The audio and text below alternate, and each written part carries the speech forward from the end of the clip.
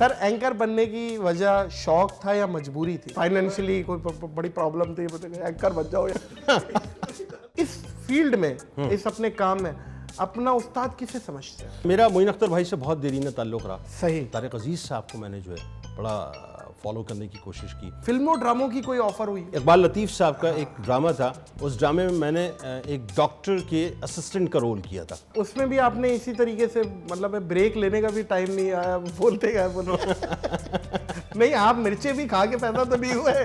बहुत बोलते हैं आप। लेकिन अच्छा बोलते हैं। सत्तू पिलाऊं सर आपको? नहीं सर ना पिला। अभी तो मैंने स्टार्ट लिया अभी तो इनफैक्ट मैं तो ये कह रहा हूँ कि कोई सोफे पे आग ना लग जाए। यकीन करें जुनेद भाई आप जितने जज्बाती हो जाते हैं और आपका एक ज़ाहिर है अपना एक और है अपना एक स्टाइल है वो तो उसकी तो पूरी दुनिया ही आपकी मद्दा है। अस्सलाम मोजिस खवतिन हजरात मैं हूँ नादिर अली। और आज जो शख्सियत हमारे दरमियान मौजूद है उनके लिए एक शेर कहूँगा। शख्सियत है उनकी बहुत कमाल। चेहरे पे रहता है हुस्न जमाल। करते हैं आज उनसे कई सवाल। तशरीफ़ लाए हैं जुनेद इकबाल। जुनेद भाई सलामकुम वालेकुम अस्सलाम। सलामकुम सलामकुम आप जितनी एनर्जी है उतना सलाम करने की कोशिश कर रहा बहुत हूँ। शुक्रिया बहुत शुक्रिया बहुत प्यारा। सर आप आप मैंने आपको नोटिस किया आप बात करते हुए ना आपकी बॉडी भी हिल रही होती है यूँ यूँ करके यूँ यूँ। तो ऐसा लगता है आपने अपने अंदर से कुछ निकल रहा है और फट जाएगा एक दिन। इतना मवाद है आपके अंदर। तो माशाल्लाह। कुछ भी नहीं जी बस अल्लाह का फजल है। बहुत शुक्रिया आपने इज़्ज़त दी और बहुत शुक्रिया आपने बुलवाया। मुझे बहुत खुशी हुई आपसे मिलकर सर मुझे बहुत अच्छा लगा। आप उनमें से हैं जिनको मैं एक जुमला कहता हूँ कि हम लोग बहुत सी बातें करते हैं कुछ लिखते भी हैं लेकिन कुछ लोग ऐसे होते हैं जो वो बोलते हैं दुनिया लिख लेती है। आप उनमें से। जजाकल्ला बहुत शुक्रिया बहुत शुक्रिया। और आप उनमें से जी। मैंने आपको फ़ोन पे एक बात कही थी आपका नाम नादिर अली है। जी। तो अली नाम जिसके साथ लग जाता है ना वो वैसे ही नादिर हो जाता है। अल्लाह ताला ने आपको नादिर बना दिया माशाल्लाह। सर मैं आज लफ्ज़ों का देखे बात पता है क्या है? मैं एक बात कहता हूँ हमेशा अपनी यंगस्टर्स को भी कि जब कोई आलिम कोई इल्म वाला आपके सामने बैठा हो ना कोशिश करो कि अपनी लल्लो बंद रखो उसको सुनो। तो बहुत कुछ सीखने का मौका मिल जाएगा लेकिन आज का फॉर्मेट ऐसा है तो सर थोड़ी सी मैं आपसे बात करने की कोशिश करूँगा। आपको आज़ादी है। बड़ी और मैं आज़ादी ना भी दूँ आप आज़ादी ले लेते हैं। सर एंकर बनने की वजह शौक था या मजबूरी थी? अब मैं फाइनेंशियली कोई बड़ी प्रॉब्लम थी एंकर बन जाओ यार। नहीं नहीं अल्लाह का शुक्र सवाल मैं आपको बताऊँ कि एक्चुअली मेरा मामला ये था कि मैं स्कूल के ज़माने में फ़न मुकर्री से वाबस्ता था और वो वो तकरीरी मुकाबले अटेंड कर करके तकरीरें कर करके शौक़ जो है वो अंदर था कि कुछ इसी हवाले से कुछ करना है। अ, फ़न मुकर्री के बारे में मैंने उस ज़माने में एक जुमला कहा कहा था कि ये घर में बीवी को मनाने से लेकर असम्बली में हुकूमत को चलाने तक काम आती है। हाँ हाँ हाँ तो वो फ़न तकरीर करते करते उससे वाबस्तगी की वजह से जो है फिर वो शौक़ उभरा और उस ज़माने में आपको पता है इससे पीटीवी होता था। पीटीवी के बड़े चक्कर खाए। 98 से आपने आगाज़ 98 से किया मैंने 98 आगाज़ से आपने आगाज़ किया और अगले बरस तकरीबन 25 बरस हो जाएँगे मुझे इस शोबे में। सिल्वर जुबली हो रही है सिल्वर जुबली हो जाएगी। तो 98 में आगाज़ किया पीटीवी में बड़ी लंबी लंबी कतारें होती थी और अगर उस ज़माने में मुझे नहीं पता आप कितने कदीम हैं जी, जी, जी। लेकिन उस ज़माने में इतना तो खैर नहीं हूँ पच्चीस साल तो आपके कह मुझे तो मेरा ख्याल है आपसे आधा ही हुआ है बारह साल। हाँ तो वो में। तो वहाँ पैदाइश हमारी आपकी 25 साल की है मेरी 12 साल की फ़ील्ड की पैदाइश। हाँ फ़ील्ड की पैदाइश। फ़ील्ड की पैदाइश। तो आ, उस ज़माने में बड़ी लंबी कतारें लगती थी पीटीवी पे। हाँ सही तो होता ये था कि जब तक आपके पास पर्ची ना हो आप अंदर नहीं जा सकते। हाँ। तो शौक़ चूँकि था तो पीटीवी से आगाज़ किया और आप जाके माशाल्लाह जो है वो तकरीबन आप समझ लें अगले बरस पच्चीस बरस हो जाएँगे। तो वो फ़न मुकर्री का जो शौक़ था वो मुझे होस्ट बनने की तरफ़ और ये प्रोग्राम की निज़ामत करने की तरफ़ इस तरफ़ लेके आ गया। कॉमर्स से आपने पढ़ा? हाँ। तो आप बैंक की तरफ़ जाते कोई और इंजीनियरिंग कहीं और फ़ील्ड में जाते मैं आप एंकर क्यों बन गए? मतलब कॉमर्स से पढ़ने वाला अच्छा मैं शायद आपको पता है मैं बेसिकली मेमन कम्युनिटी से बिलोंग करता बिल्कुल पता है। तो कारोबार तो वैसे गुट्टी में। हाँ। कारोबार तो वैसे गुट्टी वो कहते हैं ना घर अपना नहीं हो बिज़नेस अपना। हाँ अपना। तो बिज़नेस का मतलब एक्चुअली बचपन से वो बिज़नेस तो गुट्टी में था ना। लेकिन ये जो शौक़ था ये बिल्कुल मुख्तलिफ़ था। एक तो मसला ये है कि हमारे यहाँ मेमन कम्युनिटी में ख़ास तौर पे शीन काफ जो है उसका बड़ा मसला होता है। यानी वो उन्होंने दौलत होने के बावजूद भी दौलत को कभी दौलत नहीं कहा। हमेशा दौलत ही कहते हैं। ओहो। हाँ पैसा को पैसा नहीं कहा हमेशा पैसा का तो वो शीन काफ का बड़ा मसला होता था। तो लोग बहुत अवाइल के दौर में मुझे याद है जब मैं तकरीरें करता था तो लोग मुझे कहते थे नहीं यार ये मेमन कम्युनिटी का बच्चा नहीं है ये। अच्छा। क्योंकि उर्दू इतनी शुस्ता फिर ज़ाहिर इस ऐसे मिले और सुना उन लोगों को जो यानी जब बोलते थे तो लगता था कि जी उर्दू में गुफ्तगु हो रही है। हो रही है। तो उनसे सीखा भी।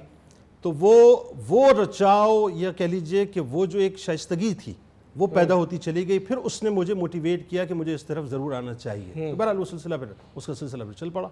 सोशल मीडिया क्योंकि आपका पहचान वजह शहरत इलेक्ट्रॉनिक मीडिया है। हम्म। तो सोशल मीडिया को आप कैसे देख रहे हैं? क्योंकि हम तो दूसरे एंड से अगर आप मुझसे पूछें तो हम तो ऐसे देखते हैं कि इलेक्ट्रॉनिक मीडिया बहुत बड़े बड़े टाइटेनिक्स हैं जो डूब रहे हैं। जिनकी डिजिटल पे अच्छी फॉलोइंग है, वो वो एग्जिस्ट कर रहे हैं मार्केट में, वरना स्ट्रगल कर रहा है इलेक्ट्रॉनिक मीडिया आप डिजिटल मीडिया को कैसे देखते हैं? देखें डिजिटल मीडिया की अपनी एक वर्त इसमें कोई दूसरी राय नहीं है। और ये एक ऐसा पैरल मीडिया अब हो गया है कि अगर आप ये कहें कि साहब, इसकी वर्त नहीं है तो आप यूँ कहिए कि आप मुबालगे से काम ले रहे हैं, आप झूठ से काम ले रहे हैं। डिजिटल मीडिया की अहमियत इतनी है कि आप एक ट्वीट करते हैं, आप एक पोस्ट करते हैं, और अगर वो मिसाल के तौर पर वायरल हो जाती है तो वो हुकूमतों को हिलाने तक काम आती है। यानी सब तक जो उसकी अहमियत है। इससे कोई इनकार नहीं है। लेकिन मसला क्या है? हमारे यहाँ जो एक सबसे बड़ी प्रॉब्लम हुई है वो ये हुई है जो मैं समझ रहा हूँ कि डिजिटल मीडिया हमारे यहाँ अभी भी इरतकाई मराहल से गुजर रहा है। यानी जिस अंदाज से इसको कंट्रोल होना चाहिए या जिस अंदाज से इस पर क्रॉस चेक होना चाहिए या यूँ कह लीजिए कि एक आपकी इंडिविजुअल सेंसरशिप है और एक वो सेंसरशिप है कि जहाँ पे हुकूमतों को खुद इसके ऊपर क्रॉस चेक रखना चाहिए। हम्म। उस अंदाज से काम नहीं हुआ। मिसाल के तौर पर यानी आप देखिए कि हमारे यहाँ मुझे बड़ी तकलीफ़ होती है कि जब ट्विटर पे वो ट्रेंड्स चल रहे होते हैं कि जिसमें आप मुगलजात बक रहे हैं जिसमें आप गालियाँ बक रहे हैं जिसमें गालियों के ट्रेंड्स चल रहे हैं जिसमें आप मैं बहुत खुल के बात कर रहा हूँ आपसे जिसमें आप इदारों को मतून कर रहे होते हैं हाँ। इदारों के खिलाफ काम हो रहा होता है। यानी फिफ्थ जनरेशन वॉरफेयर के अंदर जो सबसे बड़ी तबाही मचाई है वो आपके सोशल मीडिया ने मचाई है। कि जिसमें आपको पता ही नहीं है शुत्र में मुहार है। जो चाहते हैं वो लिख देते हैं जो चाहते हैं वो बोल देते हैं। नतीजा क्या निकलता है कि उसका जो आफ्टर इफ़ेक्ट है वो बुनियादी तौर पे ये है कि पाकिस्तान के खिलाफ पाकिस्तान के इदारों के खिलाफ पेट्रियाटिज्म के खिलाफ नेशनलिज्म के खिलाफ लोग काम कर रहे होते हैं और आपको पता ही नहीं दुनिया में कहीं भी किसी भी कोने पर बैठ के आप अपनी आईडी बनाते हैं और काम शुरू कर देते हैं। एक तो मसला ये है कि सोशल मीडिया पर जिसे आप डिजिटल मीडिया कहते हैं उस पर प्रॉपर एक क्रॉस चेक होना चाहिए एक बड़े पैमाने के ऊपर एक बात। दूसरी बात यह है कि हमारे यहाँ सॉरी टू से हमारे यहाँ लोगों ने आ, सोशल मीडिया को एक बाकायदा धंधा बना लिया है। अच्छा। अच्छा वो धंधा जो है उसमें आप कुछ भी बेचें साहब आके। कुछ भी बेचें। कुछ भी बेचें साहब कुछ भी बेचें। सूरत हाल ये हो गई है साहब कि मैं देखता हूँ अल्लाह माफ़ करे हमारे मुल्क की बच्चियाँ मतलब अपने आप को बरहना कर करके सिर्फ़ डॉलर्स की लालच में लाइक्स की लालच में फॉलोइंग की लालच के अंदर सब कुछ कर रही है। सर इस पे मैं सॉरी आपकी हाँ। बात काटूँगा। मुझे एक शेर आमद हुई है हाँ। जो आपने बात की है ना बेहयाई पे। तो वो मशरी की जुल्फ़ों की पाकिज़ा छाओ वो लाज की लकीर से परे डरे डरे से पाओ वो होठों पे हया की लाली वो कानों में बे आवाज़ वाली आरजुओं की लकीरों पर सब्र करने वाली अरसा हुआ नज़र नहीं आई वो शर्म हया का पैकर मेरे देश की लड़की किसने चुरा ली? पढ़ते नहीं भूल कर अल्लाह की किताब होते नहीं चश्मे जमजम से फैजियाब मगरब के मैं कदों की चढ़ाए हुए शराब इस दर्जा हो चुके हैं मुसलमान अब ख़राब कि सड़कों पे नाचती है कनीज़ बतूल की और तालियाँ बजाती है उम्मत रसूल की। अल्लाह देखिए भाई वाह लादिर भाई बात पता ही क्या है? मेरी वाह वाह नहीं दी आपने मैं मैं सर आप तो आपने जो आपने जो आपने जो अशार बोले ना उसको तो मैंने अपने वजूद में पेवस्त किया है लेकिन मैं आपको बताऊँ मुझे चूँकि आपने डिजिटल मीडिया की बात की है ये ये इतनी बड़ी तबाही हो गई है। जी जी जी। किसी भी किसी भी शय का इस्तेमाल सही या गलत हो सकता है। जी। उससे इनकार नहीं है। मिसाल के तौर पर आप छुरी को लीजिए आप हाथ काट दीजिए गर्दन काट दीजिए या उससे खरबूजा काट दीजिए आपके ऊपर है भाई वाह वाह सवाल ये है कि इस डिजिटल मीडिया को जो हमने बेलगाम छोड़ दिया है ना हम्म। चाहे वो इनफरादी सतह पे चाहे वो इज्तिमाही सतह पे इस पे काम करने की ज़रूरत है डिजिटल मीडिया अपनी जगह बुरा नहीं है मैंने आपको कहा ना कि एक ट्वीट जो है जी जी हुकूमतों को बना देती हुकूमतों को हिला देती मर्सिडीज को अगर अनाड़ी ड्राइवर। ठोक रहा है तो मर्सिडीज की गलती नहीं है हाँ। बात यह है उसमें चलाने वाली मैं एक बात समझता हूँ जुनेद भाई कि हर चीज़ में मैं समझता हूँ तालीम की तो एक फुकदान है ना पाकिस्तान में हाँ। तो तालीम यहाँ पे भी तालीम के बगैर ही लोग वहाँ तालीम, तालीम आई नहीं वाईफाई आ गया ये भी एक हाँ, तो है मैं बताऊँ तालीम का सिर्फ़ मसला नहीं है यहाँ तरबियत का मसला भी है हाँ। यानी आप आप ये देखिए कि अच्छा खासा पढ़ा लिखा लड़का हम्म। वो ट्विटर के ऊपर बैठा हुआ है और वो मुगलजात पर मबनी ट्रेंड चला रहा है अच्छी खासी पढ़ी लिखी लड़की बरहना रक्स करके सिर्फ़ चंद लाइक्स के लिए चंद डॉलर्स के ऊपर काम कर रही है। आलम यह हो गया है कि मुझे आज तक ये बात समझ नहीं आती कि साहब आपको दुनियावी लाइक्स चाहिए आपको दुनियावी फॉलोइंग चाहिए आपको इस बात का खौफ नहीं है कि कल बरोज मैशर मर के आपको अल्लाह को जवाब देना है। आपको अल्लाह के लाइक्स नहीं चाहिए आपको रसूलुल्लाह सल्लल्लाहु अलैहि वसल्लम के लाइक्स नहीं चाहिए आपको अल्लाह और उसके रसूल सल्लल्लाहु अलैहि वसल्लम की दीन की फॉलोइंग नहीं चाहिए। आपको चाहिए साहब वो लाइक्स जिसके अंदर दुनिया आपके ऊपर तालियाँ बजाए और आपको जो है वाह वाह करे और उसके बदले में आप चंद टकों के एवज जो है अपना सब कुछ फरोख्त कर देंगे। तो एक पहलू है। दूसरा पहलू आइए जो हमारे मीम्स बन रही हैं। कभी आपने सोचा है कि ये क्या हो रहा है? खुदा की कसम मेरी रूह कांपती है। यानी आप लोगों की कैरेक्टर एसोसिनेशन करके पैसे कमा रहे हैं। आप लोगों के कपड़े उतार के डॉलर्स और पॉइंट्स कमा रहे हैं। आपने धंधा बना लिया इस बात को कि आप सोशल मीडिया के ज़रिए से जिसके चाहे, जिस वक्त चाहे कपड़े उतार दें और उसके ज़रिए से आप पैसे कमाएँ, उस मीम के ज़रिए से। आप आप जरा ये सोचिए, इस अकाउंट को, जिस अकाउंट को आप इस वक्त मेंटेन कर रहे हैं, कल ये अकाउंट आपके गले में पड़ जाएगा। और तीसरी बुनियादी बात, एक जमाना था साहब, आप और मैं किसी जगह, किसी कमरे में बैठ के किसी के माजुल्ला किसी के बारे में कोई जुमला अगर कहते थे कोई गिबत करते थे अव्वल तो वो भी नहीं करनी चाहिए। वो ट्रेवल करते करते पहुँचती थी। आज आप किसी के बारे में कोई गलीज जुमला लिखें उसको पोस्ट करें उसके बाद आप इलेक्ट्रॉनिक गिबत खाना खोल देते हैं जिसके अंदर लाखों की तादाद में लोग दाखिल होते हैं। इलेक्ट्रॉनिक गिबत खाना। जी। वाह वाह वाह। इलेक्ट्रॉनिक भुगतान खाना खोल देते हैं। मतलब इलेक्ट्रॉनिक कजाब खाना खोल देते हैं आप। और सूरत हाल ये है कि जी लोग जौक दर जौक उसके अंदर दाखिल होते हैं अपने अमाल अपने कांधों पर उठाकर लेके आते हैं सारी नेकियों को उसके अंदर आग लगाते हैं उसके बाद साइन ऑफ़ करके चले जाते हैं। तो डिजिटल मीडिया जहाँ बहुत अच्छा है बहुत अच्छे लोग भी काम कर रहे हैं बहुत अच्छा काम भी कर रहे हैं। याद रखिएगा इंसान जब मरता है ना हदीस शरीफ के मफाहिम में एक बात ज़रूर आती है कि वो जब इंसान मरता है अपने पीछे तीन चीज़ें छोड़ जाता है। एक वो औलाद जो नेक काम करती रहे दुआ खैर करती रहे अपने वालिदैन के लिए। ठीक है जी? और उसमें एक वो काम जो कि इल्म नाफे के तौर पे हो और एक वो जो सदका जारी हो। अब इल्म नाफे क्या ये जो यूट्यूब है आप क्या समझ रहे हैं? पुराने वक्तों की किताबें उठा के आपकी लाइब्रेरी के अंदर आप कहते हैं जी वो 200 साल पुरानी किताबें 300 साल पुरानी किताबें अगर वो अच्छी है वो इल्म नाफे है वो नफा दे रही है लोगों को। ये यूट्यूब जब तक है बाकी जब तक है बाकी ये या तो आपको नुकसान देगा या आपको नफा देगा। भाई वाह वाह। फैसला आपने करना है। आप सेफ़ हो गए। और अगर आप सेफ़ न भी हुए वो जो वो जो कुदरत का मेमोरी कार्ड है जिसके अंदर जीबीस की मोहताजी नहीं है हाँ हाँ। जिसके अंदर मेमोरी की मोहताजी नहीं है। डिजिटल बातें हो रही है भाई वाह हाँ, वाह। कोई जीबीस की मोहताजी नहीं है कोई उसमें एमबीस की मोहताजी नहीं है वहाँ वाईफाई कनेक्टिविटी की ज़रूरत भी नहीं है। वाह वाह वाह। वहाँ तो अल्लाह तबारक व तआला कुन फरमाएगा आपका डाटा आप खुद पढ़ रहे होंगे यूँ पढ़ रहे होंगे सारा निकाल के।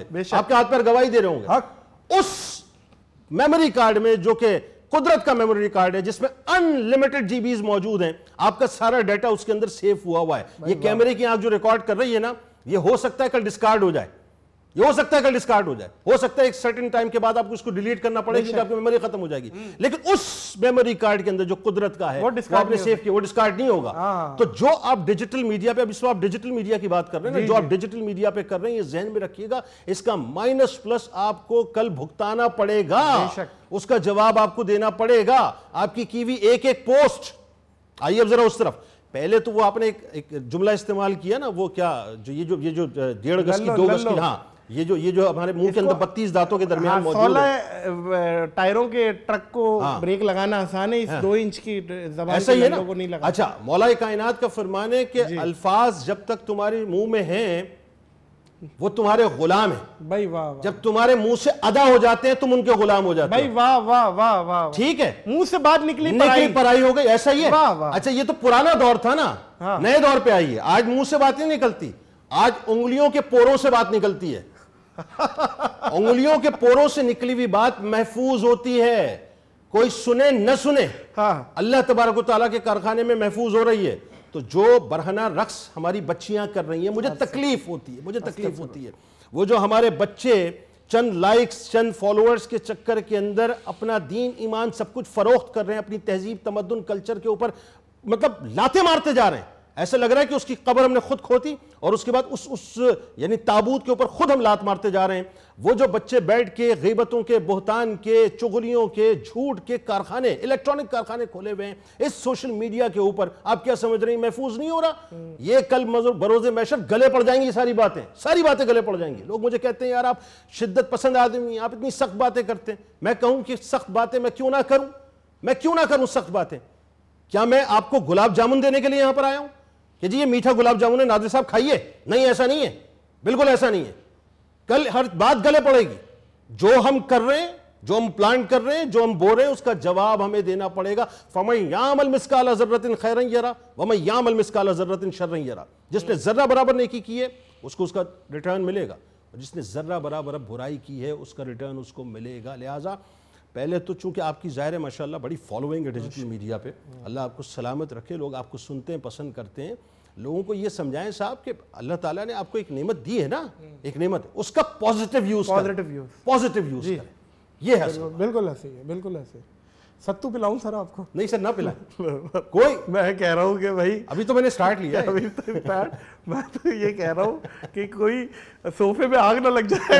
यकीन करें जुनेद भाई आप जितने जज्बाती हो जाते हैं और आपका एक ज़ाहिर है अपना एक और है अपना एक स्टाइल है। हाँ। वो तो उसकी तो पूरी दुनिया ही आपकी मद्दा है। इसमें कोई तो इस फ़ील्ड में हम्म। इस अपने काम में अपना उस्ताद किसे समझते हैं? मैं अपना उस्ताद अगर आप कहें मुझे तो मैं मशहूर मारूफ शख्सियत जो मैंने- मैंने जानती हो। मैं आपको बताऊँ मेरा एक तो ऐसे भी नाम ले लेते हैं ना लोग वो नाम मेरे पीछे वाली गली में रहता था मेरा मेरा मोइन अख्तर भाई से बहुत देरीन ताल्लुक रहा। सही। और जिस ज़माने में मैं ए आर वाई से मुंसलिक था तो उस ज़माने में लूज स्टॉक करते थे तो अमूमन मेकअप रूम में हमारी मुलाकात होती थी। तो एक तो ये कि मैंने मोइन भाई को बड़ा देखा इस काम में। मैंने मैंने अगर आप मेज़बानी के फ़न की बात करें तो तारिक अज़ीज़ साहब को मैंने जो है बड़ा फॉलो करने की कोशिश की।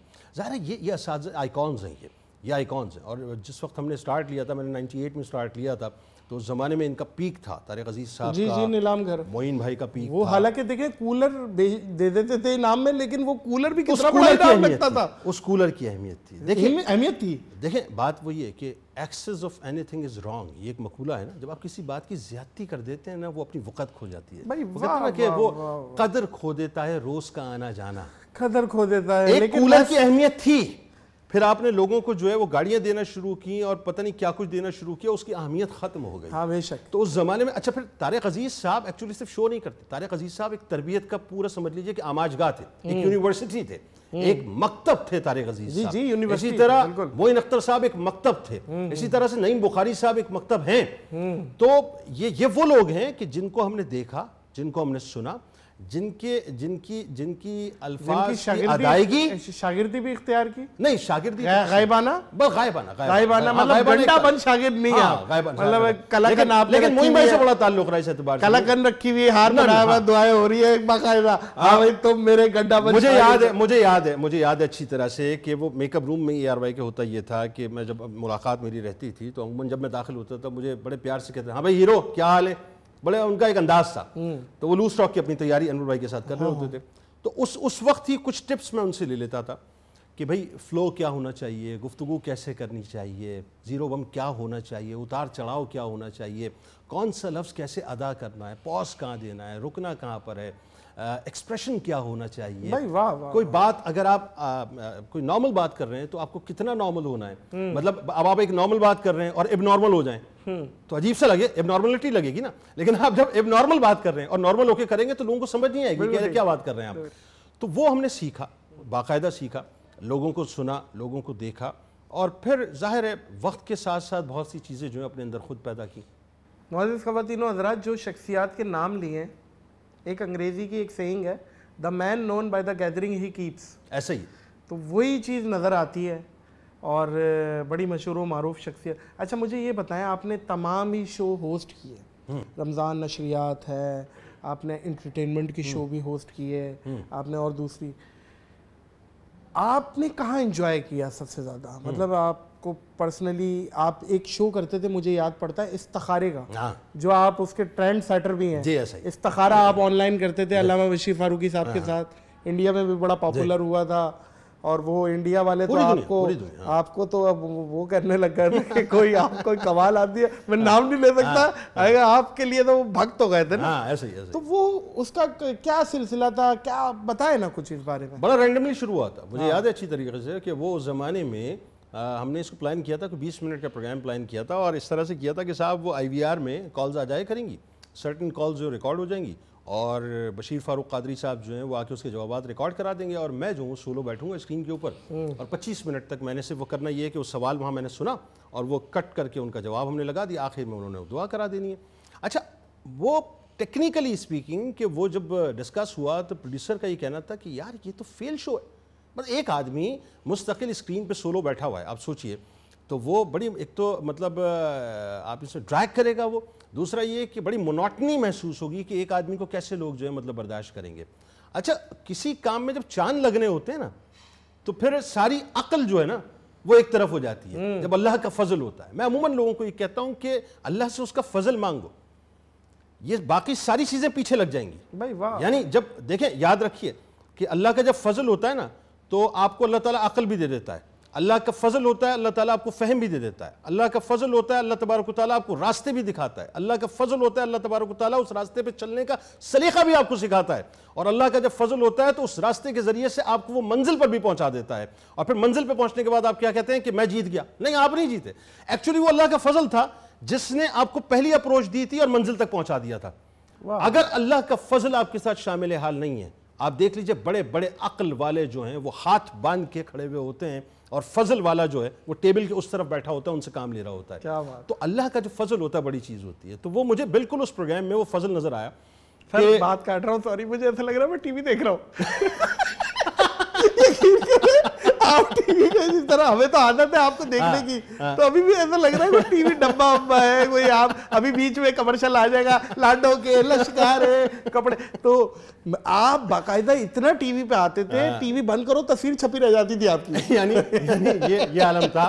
वो क्यू टीवी को लोग जुनेद टीवी कहते थे एक जमाने में। अच्छा। हाँ, हाँ तो वो तो वो मैं बता रहा था आपको शुरू किया हमने। हाँ। अच्छा जो बीस मिनट का प्रोग्राम था वो।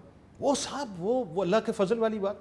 वो ऐसा उसका रिस्पांस आया ऐसा रिस्पांस आया। यानी उसमें आखिर में कहता था कि आपका कोई मसला है तो आप खत भेज दीजिए। यानी आलम ही होता था नादिर भाई के बोरे के बोरे भर के जो अच्छा, है एक सवाल बोरे के बोरे खतूत के आते थे बोरे के बोरे। सही इस्तारा होता था क्योंकि जब इतनी क्यूरी आ रही है इसमें इसमें कोई दूसरी राय हाँ। सही होता था या देखिए मैं आपको बताऊँ की बात है? बशीर फारूक साहब इंतहाई आदमी नहीं उन पे तो खैर दो नंबर है तो आज भी इंतहाई डेडिकेशन से लोग जी, जी, बेशक, बेशक। कोई दूसरी राय नहीं है। बेशक। तो वो वो प्रोग्राम फिर 20 मिनट से गया एक घंटे पे। हम्म। लाइव अच्छा फिर हम डेली लाइव करते थे फिर वो हुआ ये कि हम एशिया बीम के लिए रात आठ बजे लाइव करते थे और यूरोप बीम के लिए रात बारह बजे लाइव करते थे। यानी वो दिन में दो लाइव करते थे हम। और सूरत हाल ये कि बोरे के बोरे खतूत के आते थे। एक टाइम मुझे ये भी पता चला था आप वहीं सो रहे थे। इतनी ज़्यादा क्यूरीज बढ़ रही थी कि वही सेट पे आपने चार पाई लगा ली वो बड़ा कमाल कमाल शो हकीकत है। कमाल शो जुनेद भाई आप माशाल्लाह गुड लुकिंग भी है। माशाल्लाह कभी ऐसा हुआ हो कि क्यू टीवी पे कोई आया हो बात सुनो एक ड्रामा चल रहा है मेरा वो ड्रामे में आ जाओ एक सीन है और ये है वो है। फ़िल्मों ड्रामों की कोई ऑफ़र हुई हो? मैं आपको बताऊँ ये अल्लाह का निज़ाम वही मैंने आपको कहा ना कि अल्लाह जिससे जो चाहे काम ले ले। नाइन्टी एट में मैंने कभी ये बात की नहीं कभी शेयर नहीं की लेकिन मैं आज शेयर कर रहा हूँ। नाइन्टी एट में जब पहली मरतबा मैं पीटीवी गया हूँ तो एक्चुअली मैं a अदाकारी ही के लिए किया था। मॉडल गए थे। नहीं तो अदाकारी के किसी लिए ने कहा आपको और हाँ मैं हुआ ये था कि इकबाल लतीफ़ साहब का एक ड्रामा था उस ड्रामे में मैंने एक डॉक्टर के असिस्टेंट का रोल किया था। लेकिन वो वो वो, वो, वो जो सीन था वो शूट होते होते दो दिन लग गए। अच्छा वो ज़ाहिर है वो पीटीवी का मिजाज था मतलब मेरे टेक में नहीं वो जो उनका था सिलसिला कि जी सारे आर्टिस्टों को बुला लेते थे सब बैठे होते थे। जब दो दिन बाद रिकॉर्ड वो हो गया तो मैंने सोचा मियाँ जुनेद साहब ये आपका काम नहीं है और आप ये काम कर भी नहीं सकते। मतलब वो पहला और आखिरी अटैम्प्ट था। मैंने कहा जी मुझे ये काम करना ही नहीं है। उसके बाद फिर मैं ज़ाहिर करंट अफेयर्स की तरफ़ आया फिर मैंने डॉक्यूमेंट्रीज की उसमें क्विज शोज़ कंडक्ट किए फिर वो सिलसिला बनते बनते जब मैंने 2001 में बाकायदा एयरवाई ज्वाइन किया तो वो मेरा पहला शो था आप हम और आपके नाम से जो ऑडियंस के साथ किसी भी मतलब ये समझ लीजिए कि निजी टीवी चैनल्स पे जो है वो पहला शो था कि जो इतने बड़े ह्यूज सेट के साथ वो शुरू किया था। तो और उसमें भी आपने इसी तरीके से मतलब ब्रेक लेने का भी टाइम नहीं आया बोलते गए बोलते हाँ। बोलते ऐसी हाँ। एंकर भारी होना चाहिए। है ना? अगर एंकर मेरे सामने भारी नहीं है तो फिर फिर मैं ही बोल रहा हूँ। नहीं आप मिर्चे भी खा के पैदा तो नहीं हुए। बहुत बोलते हैं आप। लेकिन अच्छा बोलते हैं। हाँ। बात तो देखिए अच्छा बोलते हैं। मज़ा आता है जैसे कि हम आपको बता रहे हैं और इसमें कोई दो राय नहीं है हाँ। कि हम आपके मद्दाओं में से आपके बड़े डाढ़े पंखे हैं हम। अरे आपका और हम आपको सुनते मैं हैं। आपका फ़ैन हूँ आपको सुनता बहुत आपको बहुत शुक्रिया। सर मेरा सवाल ये है थोड़ा सा शादी पे भी आते हैं। हाँ। आप बिल्कुल शेरवानी पहन के आए मुझे तो लग रहा है शेरवानी नहीं प्रिंस कोट है। क्या प्रिंस प्रिंस कोट है उसी टाइप प्रिंस कोट बड़ा आपस की कज़न ही है शेरवानी की हाँ, कज़न है ये। हाँ। बिल्कुल वही लगती है।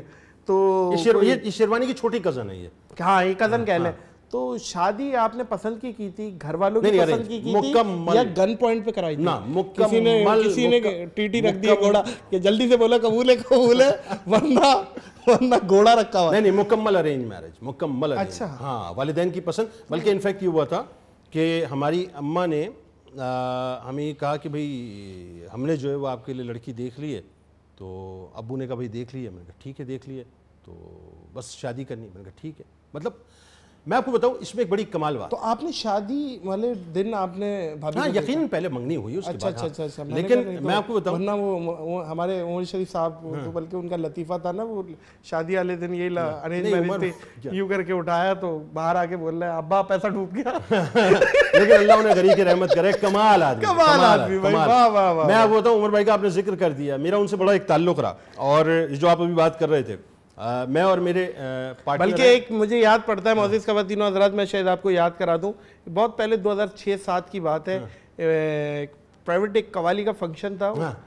साहब होस्ट थे उसमें हाँ। उमर शरीफ साहब हाँ। और आप भी एज अ ऑडियंस में सुनने आए थे मुझे याद है हाँ। इस तरीके की कोई नशिस्ती तो आप मैं आपको बताऊँ हाँ। अमूमन मेरा उमर भाई के घर पे जाना जब होता तो मेरे साथ मेरे पार्टनर आगा मिनहाज साहब बड़ी मारूफ रूहानी शख्सियत हैं और मेरे हम्म। बिल्कुल बड़े भाइयों की तरह बल्कि इनफैक्ट मेरे वालिद की जगह हैं वो अच्छा, अल्लाह ने उनको बड़ा नवाजा है और मैं आपको बताऊँ ये जो मेरी तरक्की के पीछे लोग पूछते हैं कि साहब ये कामयाबी के पीछे राज किया है तो राजों में से एक राज वो खुद है जी मतलब अल्लाह ताला अगर कोई अच्छा दोस्त आपको दे दे ना हम्म। सिंसियर दोस्त आपको दे दे। तो इससे बड़ी ताकत आपकी कोई नहीं है इससे बड़ी कुवत कोई नहीं है इससे बड़ी कामयाबी कोई नहीं है। तो निभाने हम- वाला। हाँ? निभाने वाला दोस्त। हाँ कोई वो कहते हैं ना दोस्ती करना इतना आसान है जैसे मिट्टी पे मिट्टी लिखना और दोस्ती निभाना ऐसा मुश्किल है जैसे पानी पे पानी लिखना। आए हाय क्या अच्छी बात की क्या निभाने वाला क्या तो- अच्छी बात की। तो हम दोनों हमें- तो नहीं मिला अमूमन उमर भाई से हमारी साथ मतलब मुलाकात होती थी। उमर भाई के अंदर जो है ना वो एक दरवेश था। हाँ, और मैं आपको एक मज़े की बात बताऊँ कि वो अमूमन लोगों की बातें जब सुनते थे तो फिर अपनी सुनाते थे तो लोग उनकी सुनते थे। हाँ। लेकिन जब मैं उनके साथ बैठता था आप बिलीव करें अल्लाह उन्हें गरी की रहमत करे मुझे कहते थे जुनेद तुम बोलो यार मैं सुनना चाहता हूँ। फिर वो उनका उनका तरीका अच्छा उनका मामला और था। वो कहते थे यार सरकार की बातें सुनाओ भाई वाह। कराम की बातें सुनाओ तुम करबला वालों की बातें सुनाओ। तो उनका ज़रा मिजाज कुछ और था कुछ और था। तो बात हो रही थी शादी की। बीस साल की उम्र में शादी कर ली थी हमने। भाग के नहीं नहीं। अरेंज? अरेंज सॉरी हाँ। Arrange? लेकिन आपने बताया था, था सुन रहा है। बीस साल की उम्र में भाग के कर ली थी। अरेंज। अरेंज अरेंज मुकम्मल उसकी वजह। जो बात मैं कर रहा था। खुश थे अल्हम्दुलिल्लाह। ऐसे खुश देखें उसकी वजह। आप रंजीदा तो अपनी, अपनी अपनी खुशी को ये तजुर्बा कर लीजिए। और आप मेरा ख्याल है इस तजुर्बे से गुजरते रहते हैं क्योंकि आपके आपकी तरक्की के पीछे जो है ना मुझे वो एलिमेंट नज़र आता है। अल्लाह सलामत रखे आपके वालिदैन को। आमीन जिसने अपने माँ बाप की खुशी के साथ अपनी खुशी को मरबूत कर दिया ना खुशियाँ उसके कदमों को चूमने के लिए उसके घर पे आती हैं। भाई वाह वाह वाह वाह वाह वाह। जिसने अपनी रजा को हाय हाय। अपने वालिदैन की रजा के साथ मरबूत कर दिया अल्लाह की रजा उसको तलाश करती फिरती है। और जिसने वालिदैन की हाँ में हाँ मिलाना शुरू कर दी यकीन मानिए कुदरत का पूरा कारखाना एक्टिव हो जाता है उसकी हाँ में हाँ मिलाने के लिए। क्या बात है क्या? वो कहते हैं ना जुनेद भाई कामयाबी के दो असूल हैं दुनियावी बात है कि जो पसंद है या तो उसे हासिल करो या जो हासिल है उसे पसंद करो। वाह। बात यह है कि मैं समझता हूँ कि बहुत से मेरे कुलीग दोस्त ऐसे भी हैं जो कि कामयाबी या अपनी मुबारक दिनों में कॉन्ग्रेचुलेशन वाले दिनों में रोते हैं। उनके वालदेन ज़िंदा नहीं हैं। वो उनको याद करते हैं। तो आपकी खुशी तभी डबल और चार गुना दस गुना होती है। जब आपके वालदेन खुश हों उनको देखें आप। मैं जब भी परेशान होता हूँ अपनी माँ और अपने वालिद की कब्र पे जाता हूँ। अल्लाह और मैं जब भी खुश होता हूँ। जब भी खुश होता हूँ अपनी माँ और अपने वालिद की कब्र पे जाता हूँ। मैं अपनी हर बात जाके अपने वालिदैन से शेयर करता हूँ। हर बात अपनी हर बात। ये मरते नहीं हैं ये निगाहों से ओझल हो जाते हैं। बात है। भाई वाह वाह वाह। वाह ये कब्र में नहीं उतरते। ये समझ लीजिए कि एक पहलू तब्दील कर लेते हैं बस, लेकिन उनकी निगाहें आपके ऊपर होती हैं। वो आपको देख रहे होते हैं। वो आपकी खुशी में मुस्कुरा रहे होते हैं।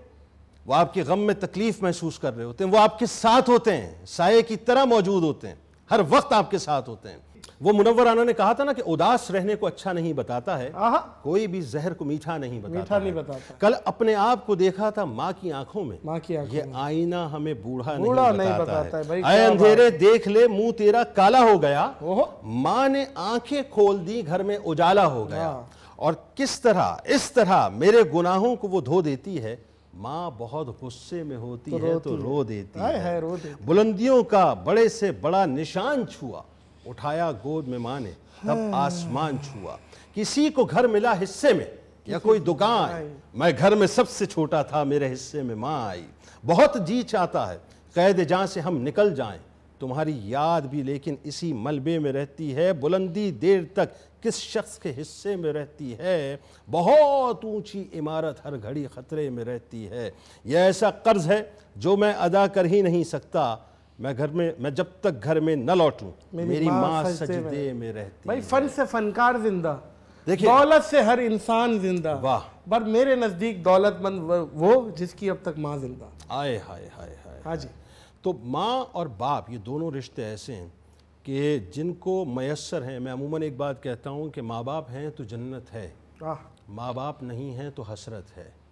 हमारे यहाँ नॉर्मली होता पता है क्या है? लोग माँ के बारे में तो बहुत कुछ कहते हैं और ज़ाहिर है कहना भी चाहिए क्योंकि अल्लाह तबारक ताली ने माँ के पैरों तले जन्नत रख दी है। लेकिन ये जहन में रखिएगा कि इसका डोर ओपनर बाप है क्या बात है जन्नत का वस्ती दरवाज़ा बतलाया है। ओ हो हो अगर ये डोर खुलेगा नहीं तो जन्नत में दाखिला नहीं मिलेगा। अल्लाह अकबर। दाखिला नहीं मिलेगा। इस जन्नत में दाखिला चाहिए ना तो पहले बाप को राज़ी करना पड़ेगा। इसीलिए कि बाप जो है ना वो बुनियादी तौर पर कभी सोचिएगा वो साहिबान की तरह होता है। जो दुनिया की सारी धूप को तपिश को अपने ऊपर बर्दाश्त करता है लेकिन अपने साय के अंदर अपनी औलादों को हमेशा खुश रखता है। किसी ने कहा था ना कि अज़ीज़ तर रखता है मुझे वो रगे जान से। अज़ीज़ तर मुझे रखता है वो रगे जान से। ये बात सच है मेरा बाप कम नहीं माँ से।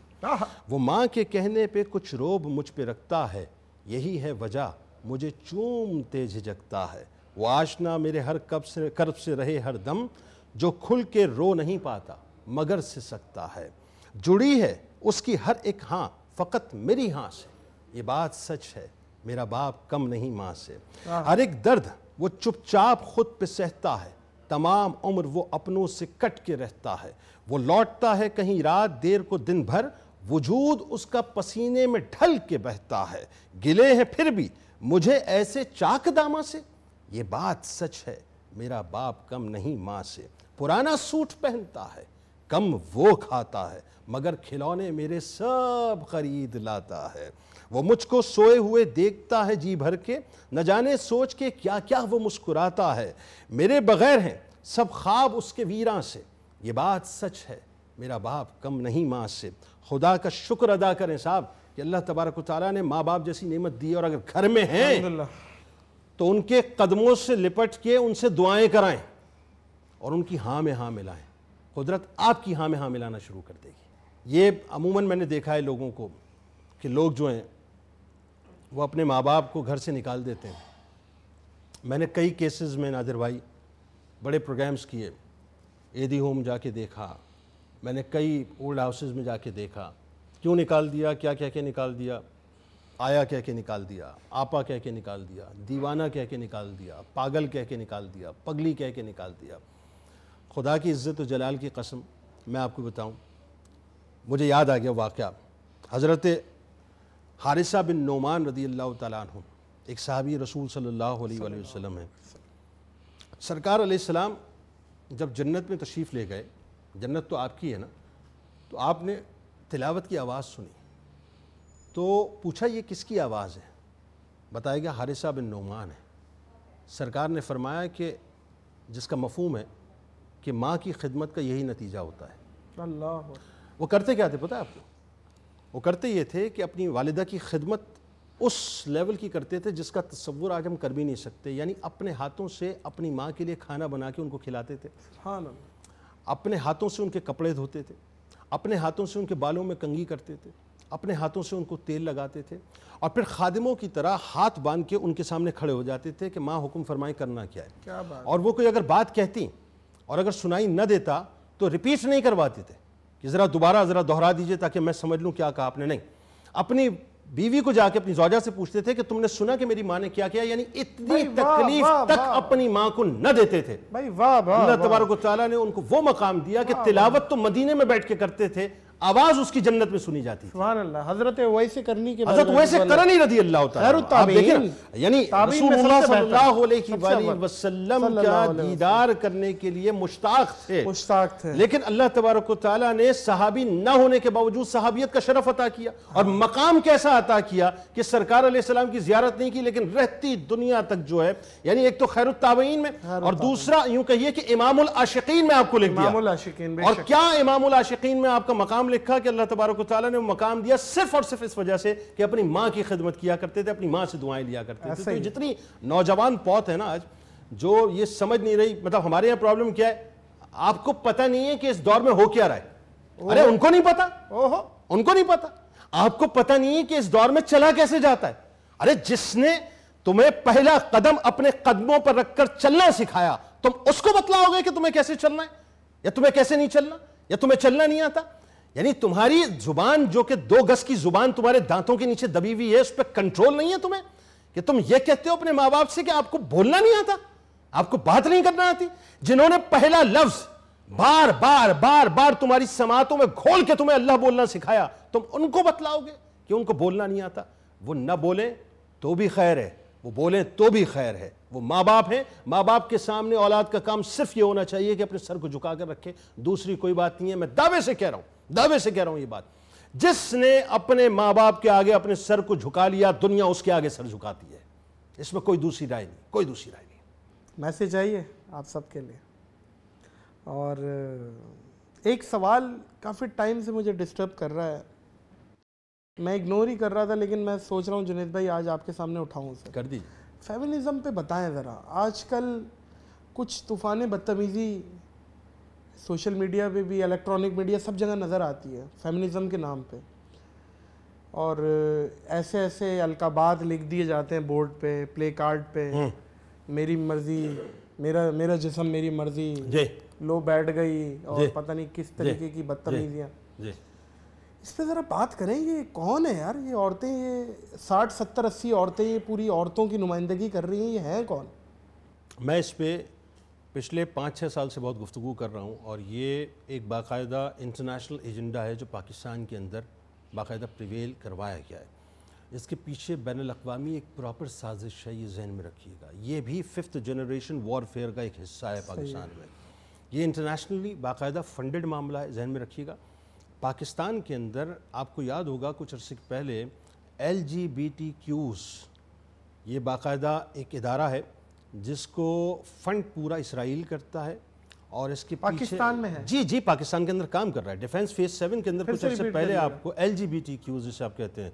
इसमें बुनियादी तौर पे ये लेस्बियंस गेज और ट्रांसजेंडर्स और पूरा इसका जो एब्रीविएशन बनता है फ़ेज़ अच्छा, सेवन के अंदर आपको याद होगा एक पोर्नोग्राफी में भी एक्टिव है? ये बहुत कामों में एक्टिव सही है। और इनको बहुत मुख्तलिफ़ ममालिक के अंदर कानूनी शक्ल भी दे दी गई है कि चाहें तो मतलब लड़के लड़कों के साथ और लड़कियाँ लड़कियों के साथ शादियाँ कर सकती है। और ये एक्चुअली मैं आपको बताऊँ, ये कौम लूत आसमाम पर जो अजाब आया था, मैं इन्हें कहता हूँ कि उस कौम की एक्सटेंशन है basically L G B T Qs जो है ना, ये उस कौम की एक्सटेंशन है।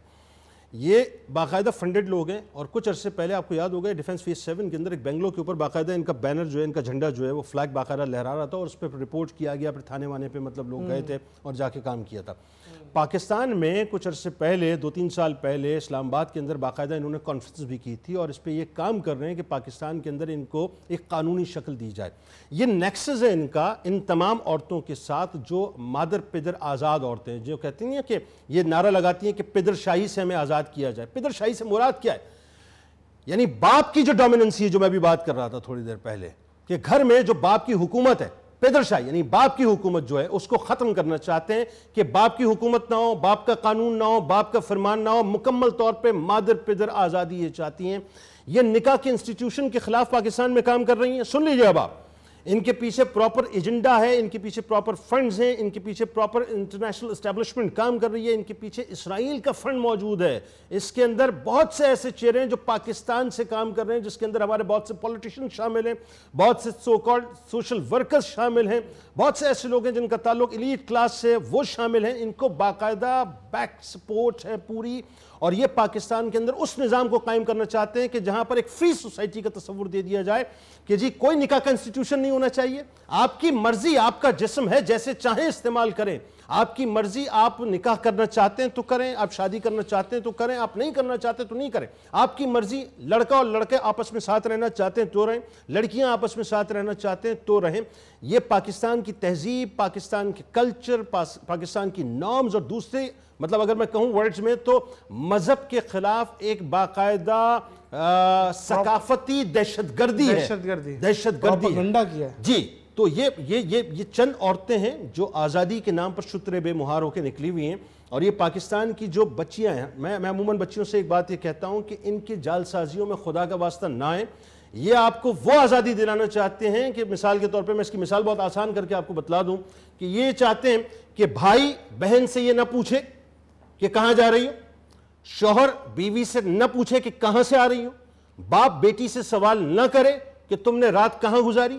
यानी ये मुकम्मल तौर पे एक ऐसी आज़ादी चाहती है कि जिसमें औरत जो है, वो अपनी जवाब दे खुद हो। और ये फेमिनिज्म का जो नारा है, ये 19वीं सदी का मगरब का नारा है।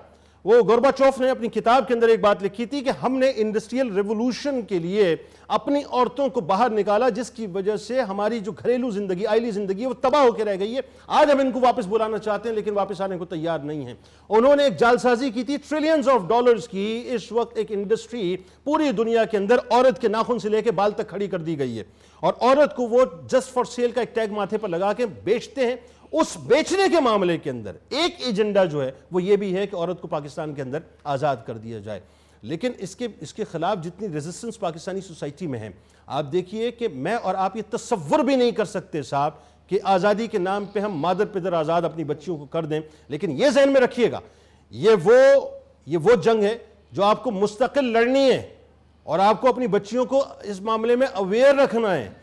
कि ये जहन में रखना, ये निगाहों में रखना कि खुदा न खास्ता ये तीर अगर आपके घर की तरफ़ चल गया और अगर ये ख़ता ना हुआ तो आप यकीन मानिए माँ बाप खून के आँसू रोएँगे, खून के आँसू रोएँगे। लिहाजा मेरा तो मानना ये कि मैं आपके प्लेटफॉर्म से ये बात, मैं अमूमन हर प्लेटफॉर्म पर यह बात कहता हूँ कि इनके खिलाफ मुझे समझ नहीं आता कि पाकिस्तान की रियासत क्रैकडाउन क्यों नहीं करती। देखिए आपने पाकिस्तान आपने बताया ना जुनेद भाई के बड़े बड़े ऑफिशियल्स इनके साथ ऐड हैं। साथ मिले में तो फिर तो देखिए आप मुझे एक तो बात मुझे मुझे मुझे मुझे मुझे एक बात बताइए पाकिस्तान आपने किस मकसद के लिए बनाया था साहब? आप पिछहत्तरवीं योम आज़ादी मना रहे हम्म।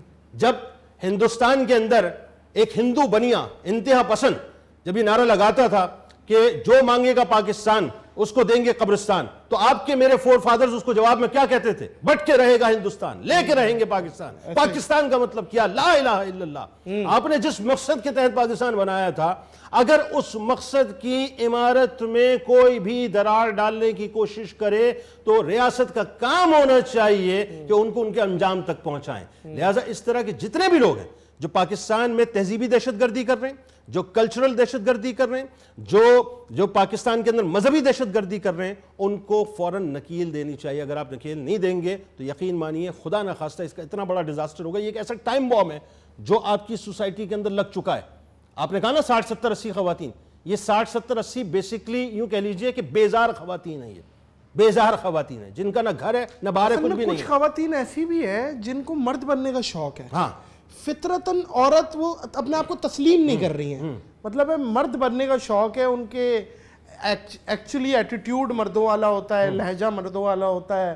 वो शायद सेटिस्फाई नहीं होती हैं अपने जेंडर से। प्रॉब्लम क्या है पता है? एक एक सबसे बड़ा मसला और भी है। हमारे यहाँ जो सॉरी टू से मतलब ज़ाहिर है जो लोग मुझे सुन रहे हैं मैं हम अपनी हम अपने अपने मामले में अपनी बच्चियों के साथ भी सिंसियर नहीं हैं। हम्म। आप मुझे मैं मैं आपको दावे से एक बात कह रहा हूँ। आप बच्चियों को कहिए ज़रा मुझे ये बताइए कि रसूल करीम सल्लल्लाहु अलैहि वसल्लम की शहजादियों के नाम क्या हैं? हम्म। नाम तक नहीं पता हमें। शहजादों के नाम क्या नाम तक नहीं पता। यार आप मुझे बताएँ जब बच्चियाँ ब्याह कर दूसरे घर में जाती हैं आपके यहाँ कितने माँ बाप ऐसे हैं कि जो बच्चियों को ब्याहने से पहले चौखट फलंगवाने से पहले उनको ये तालीम देते हैं कि बेटा सैदा कायनात की ज़िंदगी को पढ़ो। भाई वाह वाह अजवाज मुतारात की ज़िंदगी को पढ़ो। निकाल के दिखाएँ मुझे मिसाल। खाल खाल खाल खाल आप निकाल के दिखाएँगे। जब आप अपनी बच्चियों को वो नहीं पढ़ाएँगे जो पढ़ाना चाहिए तो फिर वो वो पढ़ाएँगी जो आपकी बच्चियों को नहीं पढ़ना चाहिए। तो नतीजा क्या निकलेगा? कि आपकी बच्चियाँ वो पढ़ेंगी जिसको पढ़ने के बाद वो कहेंगी कि मुझे ना बाप का निज़ाम चाहिए ना भाई का निज़ाम चाहिए ना शौहर का निज़ाम चाहिए। हम्म। वो शौहर को अपनी पैर की जूती बना के रखना चाहती है। नहीं पढ़ा रहे वो एक बात कहते हैं ना जुनेद भाई कि बच्चा वो नहीं करता जो आप उसे कहते हो। बच्चा वो करता है जो आप करते हो। बात आप ऊपर से ही सीधे नहीं हो। आप खुद हमारे ऊपर से हमारे बड़ों को भी चाहिए कि शरीयत को लागू किया जाए यार, आप मुझे एक बात- एक बात बताइए साहब। पहले तो हम तो कहते पाकिस्तान में लागू करें। घर पे तो करें। घर में तो करें। घर में तो करें। ये बात। अच्छा नहीं घर में क्या करें? मैं अब आपको बताऊँ घर में क्या हो रहा है? ये मोबाइल फ़ोन है? हाँ। इसको मैं कहता हूँ ये एक्चुअली टाइम बॉम्ब है। सही है। जो आपके हर घर घर के अंदर हर शख्स ने अपने अंदर अपने वजूद के नीचे प्लेस किया हुआ है। जी जी जी। बाप अपने मामले में लगा हुआ है? जी। माँ अपने मामले में मोबाइल लेके सर झुका के बैठी हुई है। जी। बच्चे जो है वो अपने अपने मोबाइल लेके बैठे हुए हैं। ऐसा ही है? जी जी। किसी को किसी का नहीं पता कौन क्या कर रहा है। डाटा पैकेज सबके पास एक्टिव है वाईफाई सबके पास एक्टिव है। जी। माँ बाप चले गए रूम के अंदर लॉक लॉक कर दिया। हाँ। बच्चे अपने अलग अलग रूम्स में चले गए। हाँ। अब बच्चे रूम में जाने के बाद इस मोबाइल के ऊपर क्या कर रहे हैं? भाई वाह वाह वाह क्या क्या माँ बाप ने समझने और देखने की कोशिश की? ना। फिर शाखसाना यह बनता है साहब कि मेरी बच्ची जो है उसने चैट करते करते वो घर छोड़ दिया और घर से भाग गई। मेरा बच्चा जो है चैट करते करते किसी के साथ इंगेज हो गया और एक ऐसी लड़की लेके आ गया जिसका कुफ था ही नहीं।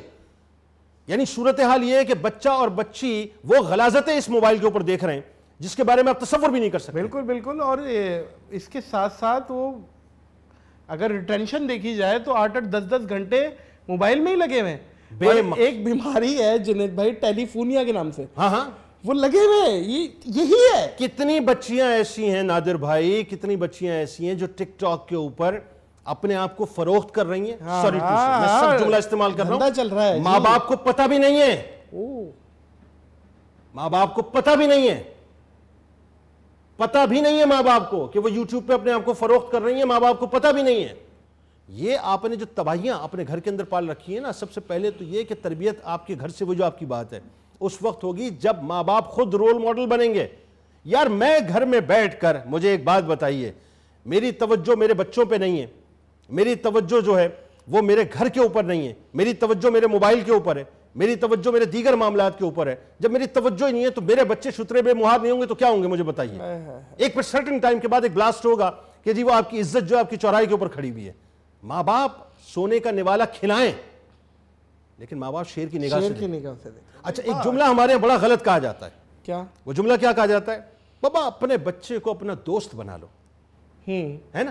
अमूमन लोग इस फिलोसफी के कायल। दुनिया में दोस्त बहुत होते हैं। बाप एक होता है। ओहो वाह वाह वाह। दुनिया में दोस्त बहुत होते हैं। माँ एक होती है। भाई वाह वाह वाह। अपने बच्चे को दोस्त जैसा तो बना लो। दोस्त ना बनाना। वरना वो जो तकरीम का लेवल है ना माँ बाप का वो खत्म हो जाएगा। आज सबसे बड़ा मसला ये हमने अपने बच्चों को अपना दोस्त बना लिया। नहीं मानते लोग बड़े बड़े मोटिवेशनल स्पीकर खड़े होकर जो है वो अपने लेक्चर्स लंबे लंबे दे रहे होते हैं। जी असल में पेरेंटिंग यूँ होती है। पेरेंटिंग पेरेंटिंग का कोई फॉर्मूला नहीं है। ये जहन में रखिए पेरेंटिंग वो है जो आप कर रहे हैं। आपका बच्चा आपका रेप्लिका बनता है। आप नमाज़ के लिए खड़े होंगे आप अल्लाह अकबर कहेंगे आपका बच्चा आपको वही बात ना बच्चा वो नहीं करता जो कहते हो हाँ। करता है वो जो करते हो। जो करते हैं। झूठ मकरो फरेब जालसाजी आपकी ज़िंदगी के अंदर मौजूद है। बाइक की टंकी पे बाप को ट्रैफ़िक की वायलेशन करते हुए देख रहा है। क्या वो बच्चा ट्रैफ़िक की बड़े होकर पासदारी करेगा? बिल्कुल ठीक है। वो ये भी तो देख रहा है पैंतीस हज़ार चालीस हज़ार रुपए की जॉब मेरा बाप करता है हाँ। और नई मॉडल की करोला उसके पास कैसे आ गई? भाई वाह वो ये भी तो देख रहा है। ये वैसे क्या टेक्निक है यार? हाँ? पैंतीस चालीस हज़ार रुपए की जॉब में नहीं करो ला भाई ऑफिशियल वही कह रहा हूँ ना। ऑफिशियल सैलरी कितनी है? चालीस हज़ार रुपए। साइंस ऊपर की जो आमदनी है वो कुछ और है अंदर की जो आमदनी है वो कुछ और है। जो लुकमा आप अपनी औलाद को खिला रहे हैं, किसी ने पूछा, औलादें जो है ना अफरमान क्यों है? क्यों है? किसी ने कहा, यार सोशल मीडिया अच्छा। इलेक्ट्रॉनिक मीडिया अच्छा। सोसाइटी अच्छा। दोस्त अच्छा। रिश्तेदार अच्छा। स्कूलिंग अच्छा। घर का माहौल अच्छा। सब अच्छा। ठीक है जी। ये सारी बातें सुन ली। बड़ा सीधा सा सिंपल सा जवाब है उसका। जो लुकमा जिस रास्ते से खरीदा था, उस रास्ते के असरात आपकी औलाद में आपको नज़र आएँगे। हलाल रास्ते से खरीदा था। मैं दावे से कह रहा हूँ उसके हलाल असरात नज़र आएँगे चाहे वो वक्ती तौर पे बहक जाए डेविएट हो जाए लेकिन वो अपनी असल पे पहुंचेगा। आपकी औलाद आपकी असल पे पहुंचेगी। वही बात है ना लेकिन अगर आपने हराम रास्ते से कमाया फिल्मी एक डायलॉग है कि हराम की कमाई जेब में लेके हलाल गोश्त ढूंढ रहा है। बताइए। नहीं होता है ना हमारे यहाँ ये जो ये हमारे यहाँ इंटरनेशनल जो ट्रेवलिंग करते हैं लोग क्या करते हैं? हाँ। हलाल फ़ूड बुक करवाते हैं हाँ। और सबसे पहले जो है मतलब वो शराब लेते हैं बियर लेते हैं। हाँ। तो आप आप बात यह है कि जो आप बोते हैं वो काटते हैं। वो आपको काटना होता है। जो रास्ता है उस रास्ते से आपको मिलेगा और कुछ नहीं मिलेगा। वाह तू इधर उधर की ना बात कर। ये बता कि काफिला क्यों लुटा?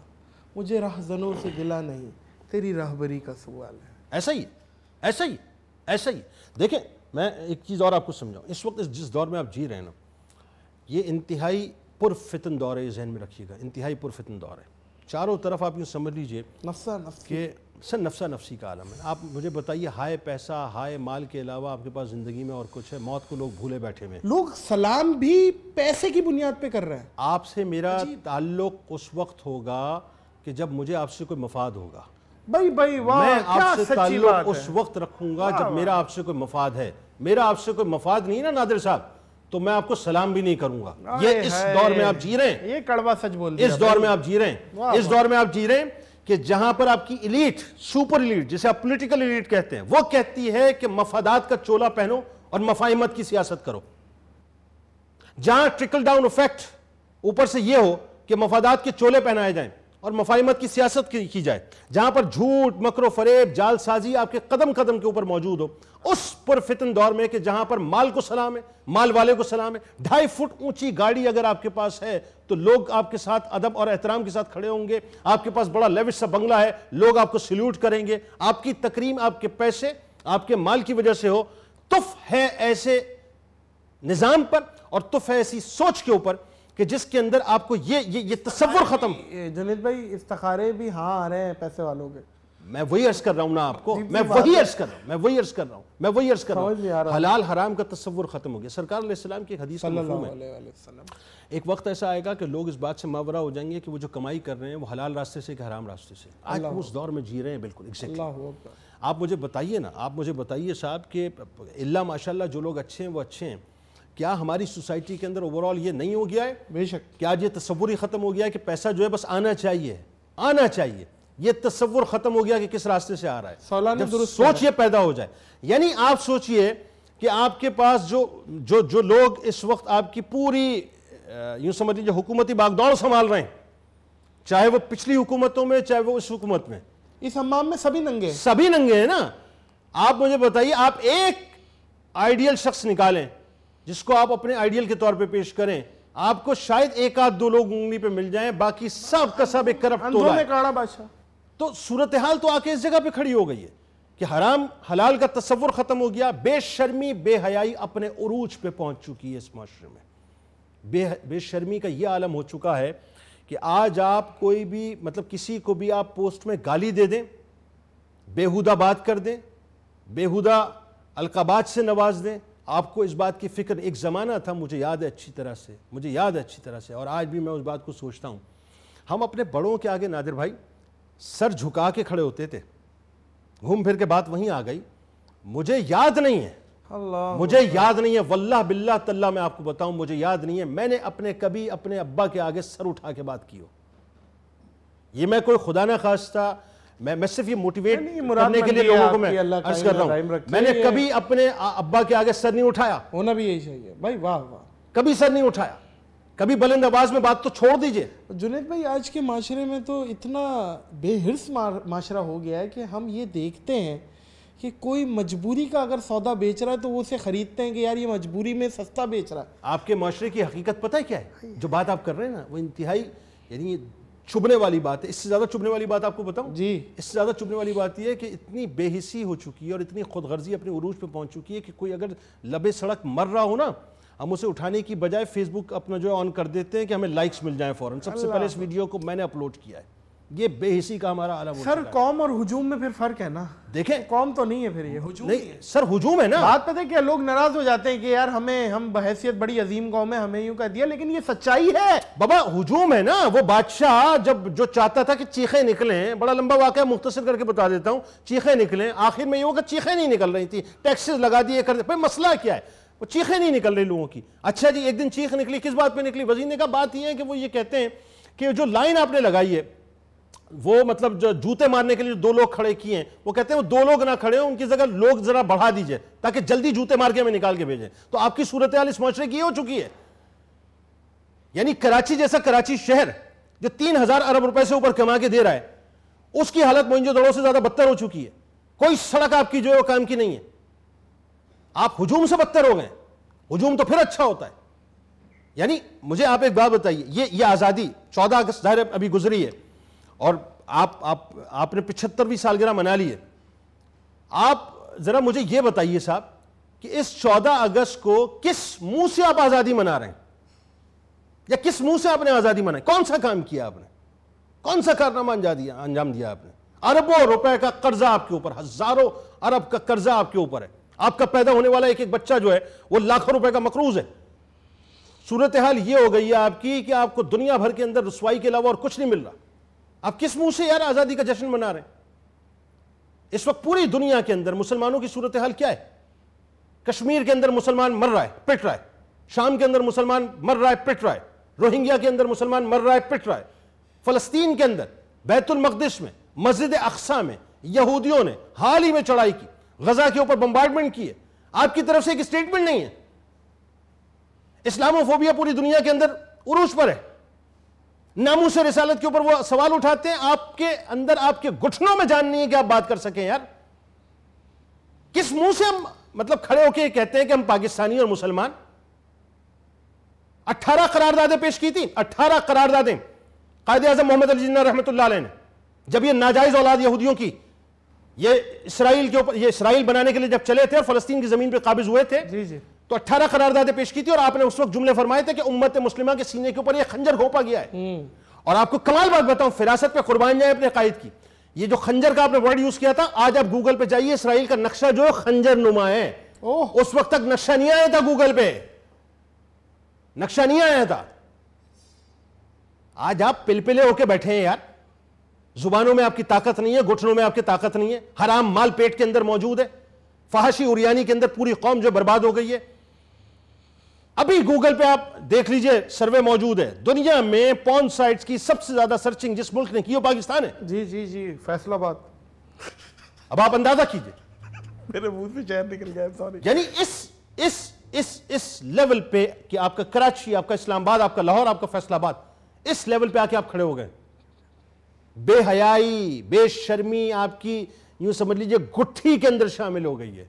क्या करेंगे यार आप? छोड़े ये सब बातें ऐसी हैं कि इसमें है, है। इसमें दिल को आ, सिवाय यूँ कह लीजिए कि दुखाने के अलावा और कुछ भी नहीं है। खुदा की कसम मुझे तो तकलीफ़ होती है मैं नौजवानों को देखता हूँ। फतवों की फैक्ट्रियाँ खुली हुई हैं।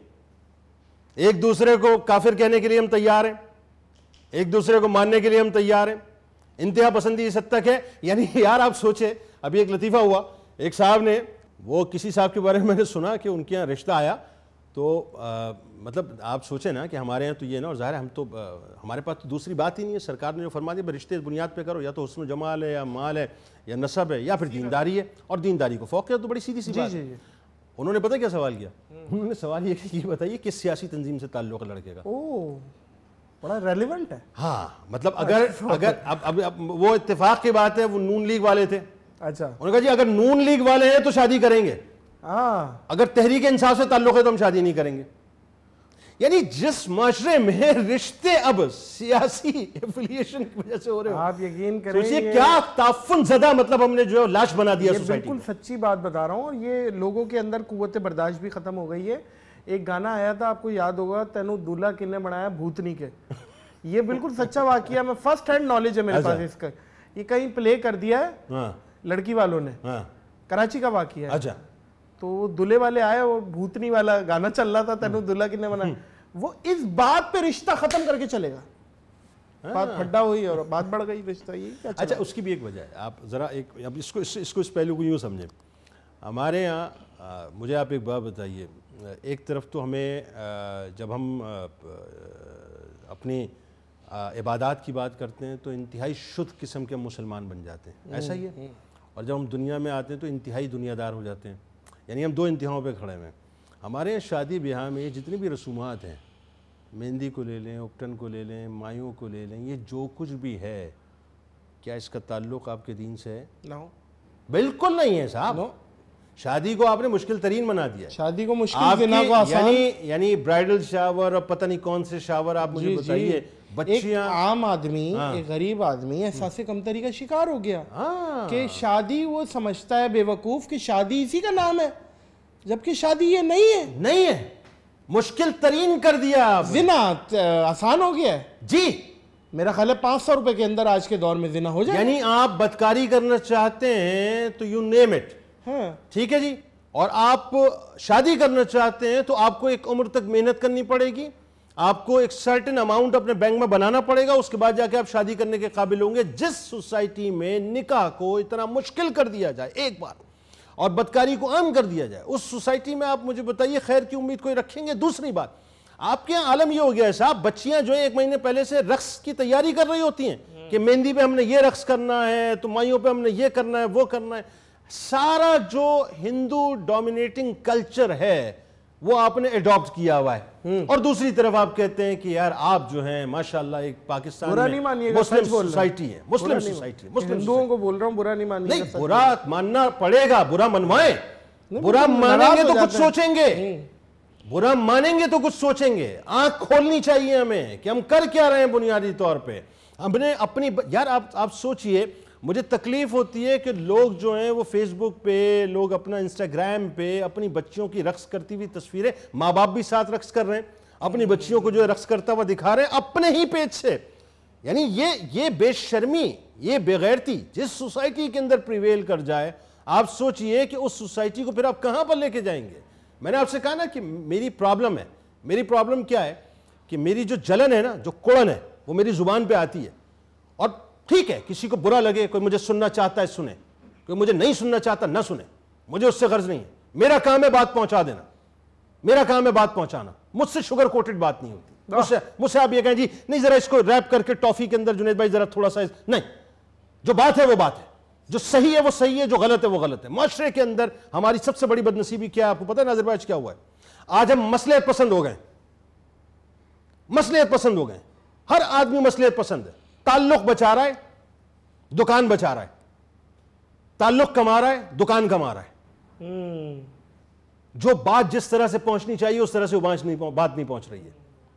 हमने दीन को भी तमाशा बना दिया है। ओ हो हो आज के माशरे में मैं एक जुमला और बोलता हूँ। अपने दुखों से दुखी नहीं है दूसरे का सुख देख के दुखी है। देखिए- अल्लाह की तकसीम पे भी राज़ी नहीं है इस पे भी जुनेद भाई कुछ लबकुशाई करें मुझसे- ये जो कुड़ना किसी के नसीब पे ये कैसा है? ये ये तो डायरेक्ट क्या अल्लाह ताला की आप तकसीम पे अल्लाह ताला पे क्वेश्चन मार्क नहीं कर रहे आप? अल्लाह एक, ने तो, एक तो बुनियादी तौर पे याद रखिए सरकार की हदीस है कुल्लू जी नेमतिन महसूदन हर जी नेमत हसद किया जाता है। हम्म। जी नेमत कोई भी है जिसको अल्लाह ताला ने नेमत दी वो हसद किया जाता है। लेकिन जो महसूद है ना देखिए हासिद बुनियादी तौर पर अपना काम करता है महसूद जो है ना उस पर अल्लाह का बड़ा करम होता है। मिसाल के तौर पे हासिद की सबसे पहले ख्वाहिश होती है सबसे पहले सोची होती है ये नेमत इसको क्यों मिली है? मुझे मिले मुझे क्यों नहीं मिली? इस नेमत को इससे छिन जाना चाहिए। हम्म, मुझे मिले ना मिले बर्बाद हो जाना चाहिए। जब हासिद इस सोच पे आता है ना तो पहला काम पता है वो क्या करता है? पहला काम वो करता है अल्लाह की तकसीम पे ऑब्जेक्शन उठाता है। हासिद जो है सबसे पहला जो काम करता है ना वो अल्लाह की तकसीम पर ऑब्जेक्शन उठाता है। याद रखिएगा, जिसको अल्लाह ताला ने जो मकाम दिया है, चाहे इज़्ज़त की शहरत में इन टर्म्स ऑफ़ इज़्ज़त है इन टर्म्स ऑफ़ माल है इन टर्म्स ऑफ़ शहरत है in terms of whatsoever आप उसे कुछ भी कहें, औलादें हैं माँ बाप है वट्स एवर कुछ भी है, ये सब अल्लाह की तकसीम है। मेरे रब ने चाहा, उसे दिया जाए, उसे दिया गया। मेरे रब ने न चाहा, उसे न दिया जाए तो उसे न दिया गया। ये मेरे रब की शान है, वो जिसको चाहे दे। तो हासिद सबसे पहले अल्लाह की तकसीम के ऊपर ऑब्जेक्शन उठाता है कि अल्लाह तूने इसको क्या दिया। दूसरा जब वो ऑब्जेक्शन उठाता है तो ये जहन में रखिएगा कि वो जो अपने जितने भी अच्छाइयाँ और अमाल हैं ना वो सारे उसके खाते में डाल देता है। वो अपनी ही आग में जलता है अपनी ही आग में जलता है। हासिद के शर से अल्लाह तबारक ताला ने पनाह मांगने को फरमाया है पनाह मांगने ये इतना शदीद मामला है कि इंसान इंतहाओं तक चला जाता है फिर वही जादू टोने दीगर चीज़ें कि इसको बर्बाद कर दूँ ख़त्म और कर ये जो ज़्यादा हासिदीन है ये अपनों में से ही होता मैं आपको बताऊँ सबसे बेहतरीन हाँ हाँ हाँ नहीं देखें वो वो ज़रूरी नहीं है रिश्तेदारों ज़रूरी तो नहीं मैं आपको बताऊँ ज़रूरी नहीं मिसाल के पहले तो ये मिसाल के तौर पर मिसाल बाहर तो नहीं जानता ना कोई मिसाल के। तौर पर आप इस वक्त यूट्यूब चैनल पर काम कर रहे हैं। मैं आपकी चले मिसाल दे के बात कर लेता हूँ। या मिस्टर एक्स को किसी को भी आप रख लें। आप जो भी प्रोग्राम्स दे रहे हैं अब आप जब अपना फैमिली स्ट्रक्चर अपनी चीज़ें दिखाना शुरू करते हैं ना तो यहाँ पे थोड़ा सा आपको मोहतात हो जाना चाहिए।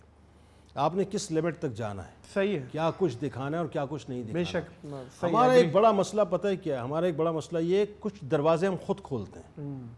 कुछ दरवाजे हासिद खोलता है कुछ दरवाजे हम खुद खोलते हैं। यानी आपको पता है यार कि इस सोसाइटी में मसाइल बहुत हैं। अब मैं जनरल बात कर रहा हूँ बिल्कुल जनरल बात कर रहा हूँ। इस सोसाइटी में मसाइल बहुत हैं। आपको पता है कि इस वक्त सूरत हाल ये है कि सवा दो सौ रुपए से ऊपर जो है पेट्रोल एक लीटर का हुआ हुआ है। एक आदमी जो तीस हज़ार रुपए कमाता है महीने के यानी हज़ार रुपए अगर वो दिहाड़ी के ऊपर है मिसाल के तौर पे for the sake of argument में समझाने के लिए बात कर रहा हूँ। और अगर वो दो लीटर पेट्रोल लगाता है तो साढ़े चार सौ रुपए वो पेट्रोल में सिर्फ़ दे रहा है। जहन में रखिएगा महीने के कितने हुए? पंद्रह हज़ार रुपये पंद्रह हज़ार रुपए जो आदमी से पेट्रोल में दे रहा है अब पंद्रह हज़ार रुपए उसके पास बचते हैं अब उसको आप पूरी फैमिली पे स्ट्रेच कर दे वो घर चला ही नहीं सकता। किराए का घर होगा सर वो चला ही नहीं सकता नहीं ना आ जाइए उस कैलकुलेशन के ऊपर अगर वो डेढ़िए में भी रहता हो खुदा की बस्ती जी, में जी। तो बारह पंद्रह हज़ार रुपए का तो उसको घर मिलेगा। बाकी वो खर्चा कहाँ से करेगा औलादें तो हैं उन पे तो दिली हमदर्दी अच्छा। एक शेर है मेरे जी, जी, जी, जी, जी, किराएदार जी, जी। जो बेचारे मैं समझता हूँ सर सेवेंटी परसेंट किराएदार है। जो उठाए आप दस में से सात लोग वो बोलेंगे हम रेंट पे। हम्म। आए बंठन के शहर खमोशा में वो। कब्रिस्तान शहर खामोशा।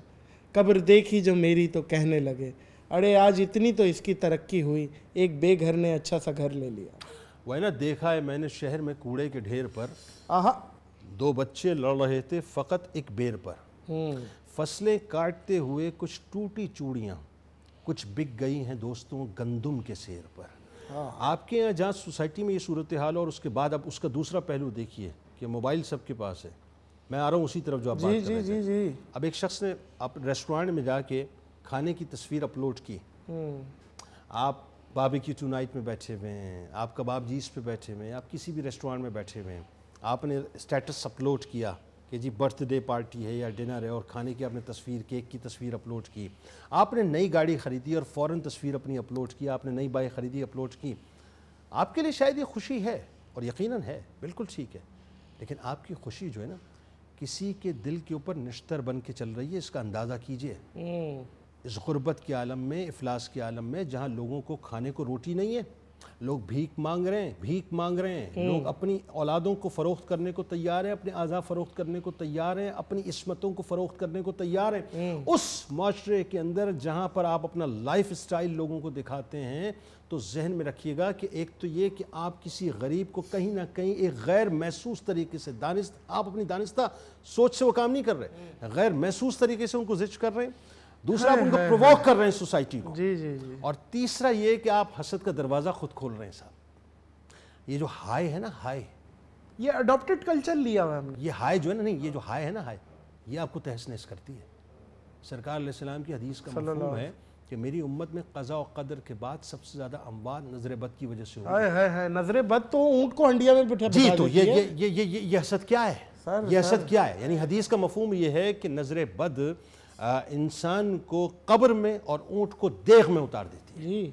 तो अब मुझे एक बात बताइए कि एक दरवाज़ा तो उसने खोला था एक दरवाज़ा आपने भी तो खोला है ना? इसीलिए इसीलिए इसीलिए इसीलिए। एक तो ये कि ज़ाहिर फलक और नास आपको अता की। इसीलिए आपको ये कहा गया कि अपनी नेमतों का इस तरह से प्रचार ना करो। हमारा सबसे बड़ा सोसाइटी का मसला क्या है? हमारा सोसाइटी का मसला ये है कि अल्लाह तबारक ताली जब हमें कोई नेमतें देता है ना तो हमसे वो नेमतें हज़म नहीं होती हैं। हमसे वो नेमतें हज़म नहीं होती हैं। इसीलिए कहा गया कि अगर तुम्हारे घर में कोई मौसम का फल अगर हो और उसको तुम खाओ तो उसके छिलके अपने पड़ोस में न फेंको। अल्लाह अकबर। न फेंको न फेंको भाई ना फेंको। इसलिए कि उन छिलकों की खुशबू की वजह से ऐसा न हो कि उसके घर का जो बच्चा है वो मजीद बिलबिलाहट का शिकार हो जाए। तुम्हें क्या मालूम कि उसके घर के अंदर किसी माँ ने अपने बच्चे को दिलासा दे दे के पूरी रात इस तरह से सुलाया हो कि बेटा खाना पकने वाला है इंडिया में? और तुम्हारे फेंके हुए छिलके ने जो है उसकी ऐसी तैसी करके रख दी। ये वही तो फेंका हुआ छिलका है जो आप फेसबुक के ऊपर यूट्यूब के ऊपर लगा रहे हैं। क्या बात है भाई वाह। और क्या है? और क्या है मुझे बताइए? इस माशरे में मैंने आपको कहा ना हमारी हमारी सबसे बड़ी प्रॉब्लम क्या डिग्रियाँ हमने बड़ी बड़ी ले ली हैं। मास्टर्स हमने यहाँ से किया है साहब। पीएचडी हमने यहाँ से किया है साहब। हाजी कहाँ पर हैं जी? इस वक्त कंपनी के जनरल मैनेजर हैं। सीईओ की पोस्ट पे बैठे सीओओ की पोस्ट पे बैठे। यार ठीक है आप पोस्ट पे बैठे। तरबियत आपकी क्या है ये बताइए। माशरे में तरबियत का फुकदान है। माशरा हमारा तबाही के दहाने पे आके नहीं खड़ा हुआ। तबाही की घाटी के अंदर गिर चुका है। वो वो काम इस माशरे के अंदर हो रहे हैं नादिर भाई जिसका हम तस्वर भी नहीं कर सकते। सही कह रहे सही कह और आप मुझसे बहुत बेहतर जानते हैं यार। सही फरमा बहुत बेहतर आप जानते हैं। सही फरमा रहे मैं पूरी आपकी गुफ्तु का जो लुब्बे लुबाब समझाऊँ ना तीर खा के देखा जब कमी गाह की तरफ़ कुछ अपने ही दोस्तों से मुलाकात हो गई। बहुत बहुत शुक्रिया। मतलब बहुत प्यार आपका। म- म- मज़ा को मज़ा आ गया। आप यूँ समझ लें। और मोजिस खवतिन हजरात मैंने कहा था ना अपना कुछ लोग हैं जिनमें सेल ज़्यादा डले हुए हैं। जुनेद भाई उन्हीं में से है और हैवी वॉट के डले हुए सेल। अल्लाह आपको जजाय खैर दे। दो बातें यहाँ करूँगा जाते जाते। एक तो आपका प्रोग्राम सुबह नूर उसकी बेस्ट विशेस बहुत अच्छा जा रहा है ज़बरदस्त जिंदाबाद। वो डेली माशाल्लाह सुबह सात बजे 92 न्यूज़ पे होता है और एक और लाइव शो करना अपने आप में एक बहुत बड़ा चैलेंज का काम है। ये जो करता है वो कहते हैं ना एक, एक कोई परफॉर्मेंस हो रही थी बड़ी पिलपिली परफॉर्मेंस हुई। तो जजेस जजेस ने एक रिमार्क्स दिए बड़े तारीखी। उन्होंने कहा बेटा जिसको आता है उसके लिए ये मुश्किल है जिसको नहीं आता उसके लिए आसान है। हम्म, आहा क्या अच्छी बात क्या अच्छी बात। बात वही है जिसको आता है उसके लिए तो फिर लेकिन बहुत मुश्किल चीज़ है मोजिस का वतीन हजरात ये मैं बताऊँ क्योंकि मैंने लाइव थोड़ा बहुत किया है मुझे पता है और गुंजाइश नहीं होती गलती की इसीलिए ये एक शख्सियत जो बनी है और माशाल्लाह दिख रही है ये लाइव कर करके ही मंजे और नहीं कुछ मैं आपको एक बात बताऊँ। जी। ये ये जो टोटल जितना भी अल्लाह ताला ने मुझ पर करम किया ना मैं आपको इस अगर मैं इसकी साइंस आपको बताऊँ जी। कि यार इसके पीछे राज क्या है तो अल्लाह का फजल है। माँ बाप की दुआएँ हैं। बेशक।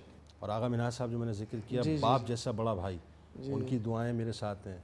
और एक चीज़ जो मेरी अपनी ज़ात की जो मैं समझता हूँ मेरी ज़ात की और वो भी मेरे अल्लाह की अता है। हाँ। वो भी मेरे अल्लाह का फजल है। मेरी क्या है? मेरे अल्लाह का फजल है। वो ये है कि मैं राज़ी रहता हूँ। क्या बात है भाई वाह वाह वाह वाह। मैं खुश रहता हूँ। खुश रहे मुझे ये फ़िक्र ही नहीं है किसी के पास क्या है। और मुझे इस बात का गम भी नहीं है मेरे पास क्या नहीं है। क्या बात है भाई वाह वाह वाह। दूसरी चीज़ मोजिस खवतिन हजरात बड़ी इंपॉर्टेंट कि जुनेद इकबाल साहब का यूट्यूब चैनल इन्होंने लॉन्च किया है और मोहम्मद जुनेद इकबाल के नाम से चैनल है। सब्सक्राइब करना है ये कहने की ज़रूरत नहीं है। आपको लिंक डिस्क्रिप्शन में शो हो रहा होगा आप जाके सब्सक्राइब करें।